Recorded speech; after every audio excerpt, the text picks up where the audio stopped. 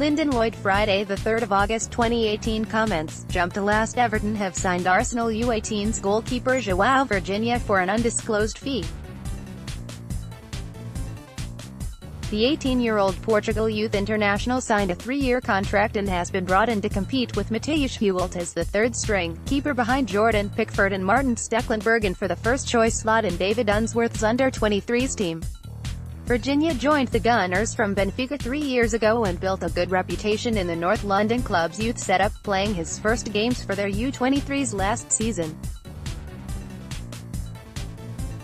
I am really happy to be at Everton, Virginia said today.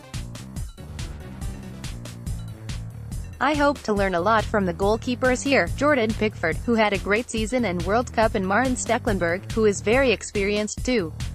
This is a great opportunity for me. Note, the following content is not moderated or vetted by the site owners at the time of submission. Comments are the responsibility of the poster. Disclaimer posted the 8th of March 2018 at 17 hours 32 minutes and 4 seconds. Welcome Joao. I'll wait in first, he could be a golden signing posted the 8th of March 2018 at 17 hours 34 minutes and 8 seconds welcome but where the hell are the two central defenders and play-making midfield? Posted the 8th of March 2018 at 17 hours 35 minutes and 54 seconds Oh Tony. Like the first word.